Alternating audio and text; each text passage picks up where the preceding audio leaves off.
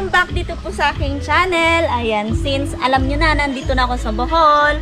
So, guys, andito tayo sa bahay ni Neil Pax. Ayan, flex natin yung bahay ni Neil Pax. Yan po yung, ah, ano matatawag ba dyan Neil Pax? Yung accomplishment po niya. Ayan, sarap. So, before anything else, bago tayo maglibot sa bahay ni Neil Pax, intro muna po. I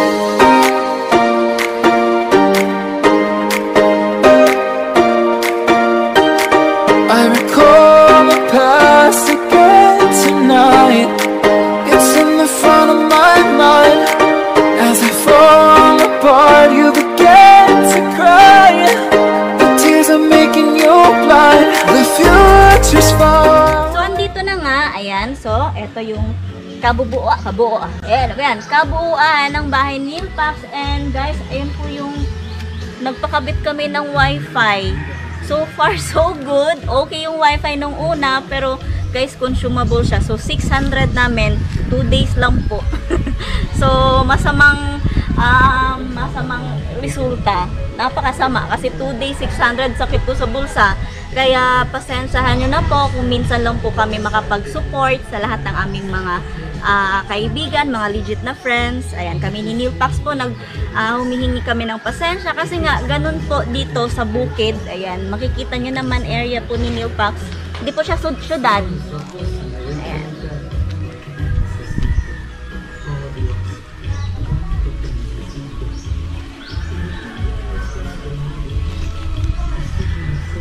So, ganun po ang place ni Neil Pax. So, mahirap po ang signal dito sa bukid. Yan, bukid po siya, probinsyang probinsya. Kaya ang hirap po ng signal. Dead spot po ang area sa signal. Kaya kung magpapa ah, kabit ka ng signal, ganyan po siya, ganyan.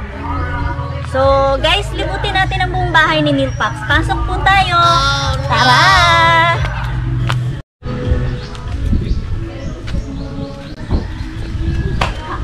Ayan. Ayan, dito po, dito po soon, may plano kami dyan ni Neil Pax. Soon po, soon po. Next vlog.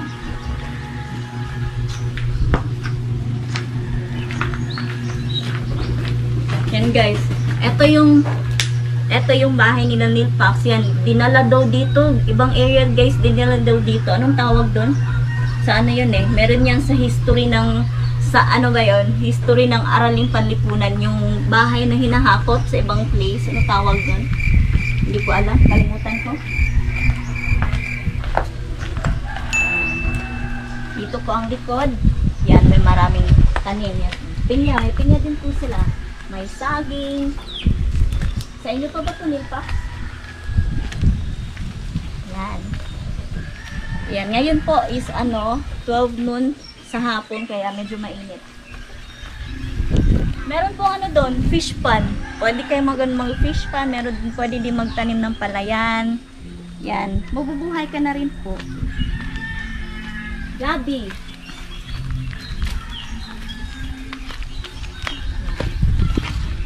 O, di ba? Ganda dito. Napakaano ng hangin. Fresh na fresh yung hangin, guys.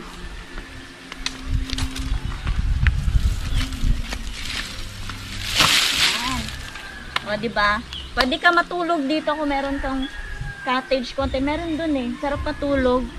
Yan, pag wala kang ginagawa. Pero, mangyari, kain tulog. Nako. Teneng! Lumalaki na tayo, konti. Ayan, ganito po ang buhay bukid at ito ang buhay probinsya nila Neil Pax. And uh, eventually dito na rin po ako. So, araw-araw tayo magkikita-kita sa ganitong place. Ayan. Tingnan nyo po yung area. Tingnan nyo, check natin.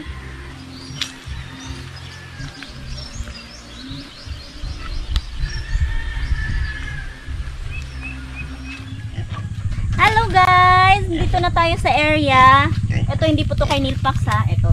Dito sa lugar nila, maganda dito guys. Mag-alaga tayo ng mga ah, hayop. Yan, baboy. Hello Biik! Ink, ink, ink, ink. Ink. Ala. Yan, pwede kang mag magbuhay ng mga hayop dito kasi walang walang kapitbahay so hindi tayo makakapag-disturbo in case sa like baboy medyo ma, ma, mabaho ang tae niya guys so dapat walang eh walang mga kapitbahay Then punta tayo doon sa kung saan kami pwedeng tumambay ni Nilpax. Doon kami tumatambay. Napaka-fresh ng air doon. Guys, yan. Punta tayo doon. Hinala ko. Malapit lang din doon kay Nilpax din na ano, bahay. Ano lang siya, lakad-lakad lang na moment. Yan. Yan, kita niyo yon? Yan po yung napakasarap tambayan. May fish pan po yan. Nagmamay-ari po yan ng show ni Nilpax yan. May-ari ng fish pan. Tara. Guys. Eto, ano ba to kangkungan? Ewan ko ano to. Pero may mga isda. Pwede magbuhay ng isda. So kung wala kang ulam, pwede kang mamingwit dyan. May isda dyan guys. Nakikita ko kahapon meron siyang mga tilapia. Malalaki. Hindi bambang. Hi!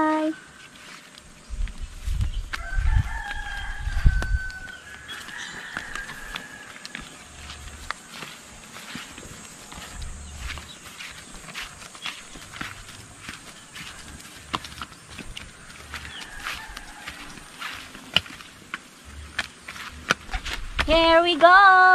Ayan. Meron kami ano dito eh. Secret. Yan. Pwede kang humiga. dito kami. Yan. Dito kami tumatambay ni Nimpax. Ang sarap ng hangin guys. Ah, kayo pag dito kayo guys. Syempre, hindi, yung, yung sinag ng araw hindi mo na mapapansin kasi nga ang ang ang ang palibot is puno ng air yan. Ah, so hindi na mo mapapansin na mainit. Kahit na ano, front yung sunlight dito. Sarap ng hangin. Yan. Yan po ang paligid dito. Check natin yung paligid.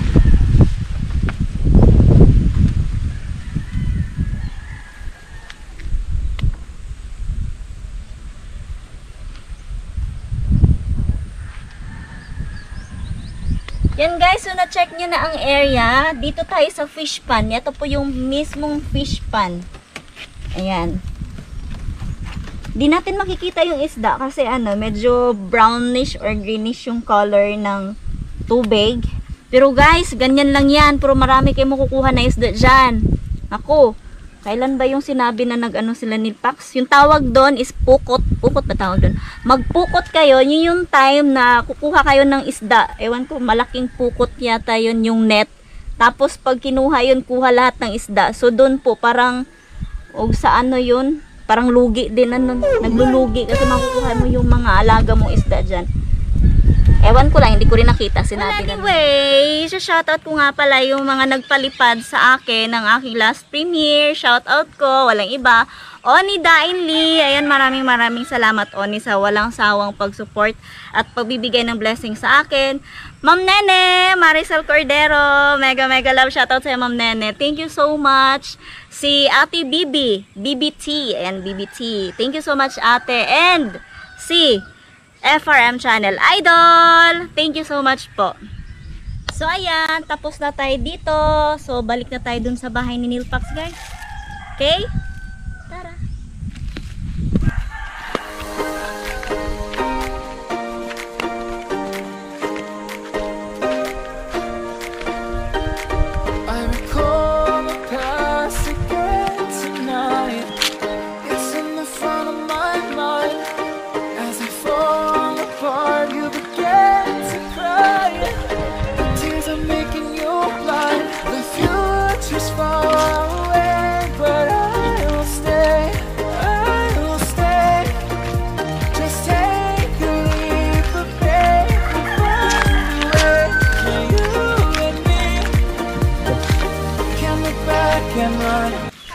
Kapitbahay nila Nilpax, which is tiyo po ni Nilpax po. Ayan yung mga kapitbahay ni Nilpax, mga ano lang po nila, mga relatives.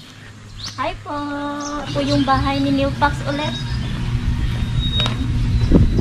Yan, may mga bulaklak din ng mother lulu ni Nilpax guys. Ayan, ma magagandang bulaklak. Antorium, santan.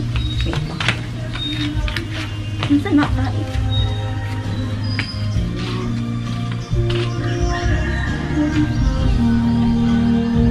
Meron din silang ano, guruto tawag daw dito eh, guruto. Basta alam ko may, may Mama Mary. Guruto pa na tawag dito. Ito yung loob. Welcome! Bago tayo pumasok, mag-chinelas tayo guys. Madumi yung sila. sila pa.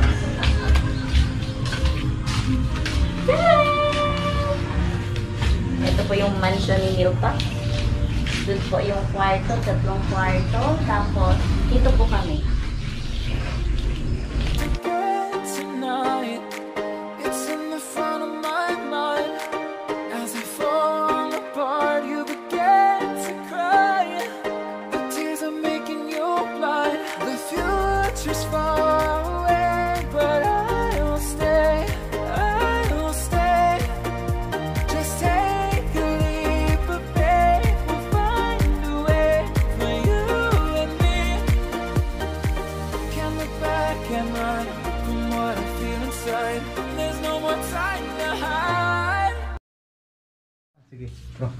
Yan. Mother Lulu po ni Nilpax. Hi, Katis. Hi. Magpe-prepare na po siya ng pagkain namin, di ba? Hayahay. Lutuan ng, sana all, lutuan ng Yan guys, tapos na po ang ating house tour dito sa residence ni Nilpax. So, thank you so much sa mga nanood. And sana po ay um, palagi po kayong sumusuporta at susuporta po sa amin. Thank you so much and sa mga hindi po subscribe, please subscribe my channel and please kalimbang na rin po para uh, update po kayo sa lahat ng aking mga uploads. Thank you and see you around guys. God bless you all. Bye-bye!